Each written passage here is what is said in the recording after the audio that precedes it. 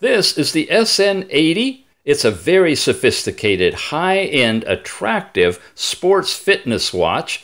It has all kinds of goodies uh, step count, and distance traveled, and calories burned, and a very quick timeout.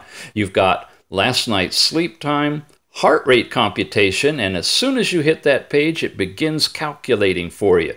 You've got a training page here that you could tap into walking, running, cycling, skipping, badminton, basketball, and of course it's IP68, so you can even do swimming as well as football in here.